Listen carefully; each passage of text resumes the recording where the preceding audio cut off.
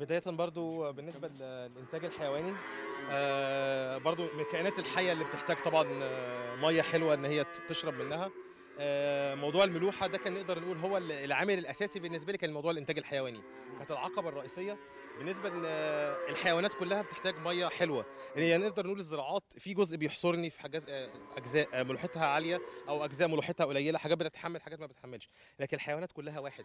الحيوانات كلها لازم تحتاج مية حلوة. آه زي ما إحنا كنا قايلين إن أنا كنت بفكر في موضوع محطه التحلية ولقيت cost عالي جدا إن أنا أغطي برضو ال- مساحة الإنتاج الحيواني اللي عندي ديت. آه ولما عملت الدراسة زي ما إحنا قلنا موضوع جهاز الفصل المغناطيسي آه بدأت أعمل تجربة إن أنا أشغل المية عليهم. آه لقيت المردود كويس بالنسبة لاستهلاك المية طبعا كان الأول بيستهلك مثلا سي مثلا العنبر بيستهلك مثلا سي 2 متر مكعب. لا بقيت المردود ده بملى ممكن في حدود 3 متر ونص أو 4 متر مكعب. يعني بقوا بيشربوا مية أكتر. بالظبط ما المية مستساغة المية بالنسبة له أحلى. آه طعمها أفضل بالنسبة له.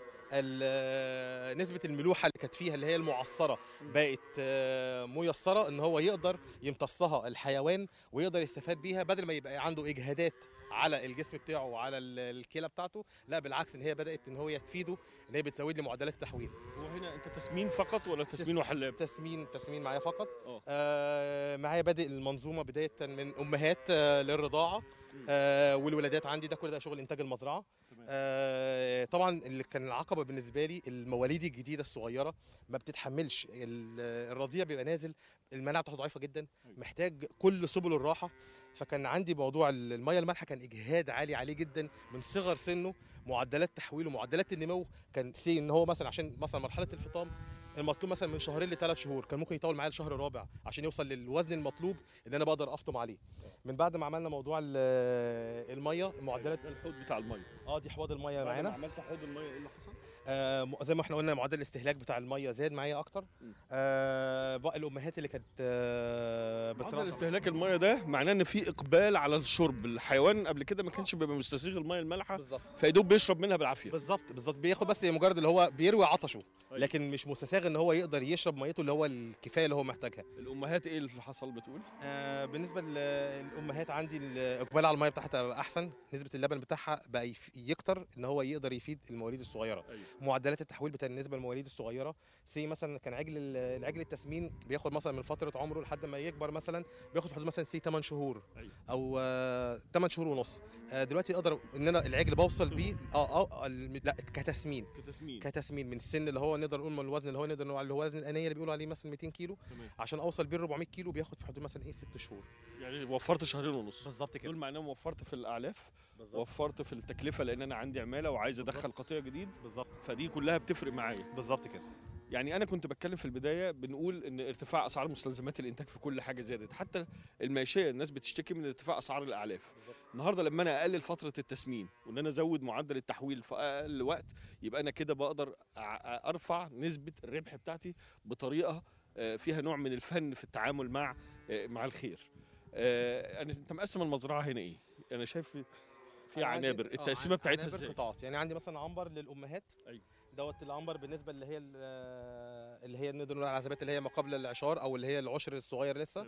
آه بعد بيحصل آه ال- الولادات بتنقل إلى العنبر اللي بعدها اللي هو عنبر المواليد. عندنا مواليد النهارده؟ آه لا مواليد النهارده حاليا. يعني في حاجات آه، حجمها آه، صغير؟ آه آه بالظبط حاجات حجمها صغير. اللي أنا عايز أسأله مش عامل مكان هنا للحجر؟ يعني لما بيجي لك قطيع جديد أول ما بيجي المزرعة بتدخله معاهم على طول؟ لا لا لا لا طبعا لازم يتحط في حاجة لحد ما بيخلص التحصينات بتاعته. آه. بتقعد حوالي شهرين إلا ربع لحد ما يخلص جميع التحصينات سبع أسابيع بالظبط. بيخلص كل تحصيناته وبعد كده يبدأ يضم معايا على بيت القطيع. ده في حين إن أنا لو جايب حاجات من بره. بس أغلبية الشغل هنا عندي ده كله ده إنتاج المزرعة. ما شاء الله. آه. آه يعني أنت حتى الولدات بتاعتك أنت. آه الولدات آه. يعني ده ده العنبر الولدات. الأمهات. الأمهات. آه. بسم الله ما شاء الله.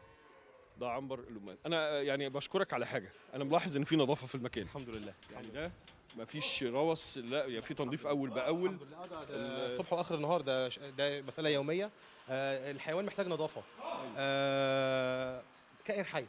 آه، هتديله النظافة بتاعته وتديله المكان الأكل بتاعه نظيف تديله كل السبل اللي هو محتاجها هيدي لك المردود بتاعه. صح. لكن أنا لو حيوان قاعد في مكان مش نظيف أو حاجة زي كده هيبقى طبعا مش هيديني ال- ال- ال- الحاجة المرجوة منه. تمام. ديت العنبر الأمهات. بعديه آه، الولادات عندي. يعني أنا عايز بس أوجه كلمة للساده المشاهدين. اسأل مجرب. ليه؟ أنا بسأل صاحب المشروع الراجل اللي آه، همه إن هو يحقق ربح إن هو ينجح. تقييمك إيه لجهاز معالج المال المغناطيسي؟ إيه المردود اللي أنت حسيت بيه كمستثمر؟ آه زي ما قلنا لحضرتك إن هو وفر عليا ال- بالنسبة لدورات التسمين آه وفر عليا ك- ال- الوق- وفر عليا وقت. وفر عليا وقت. اللي بعمله مثلا في سنين اختصر هو في في شهور. بالظبط. ده ده بعمله في سنين اختصروا في شهور.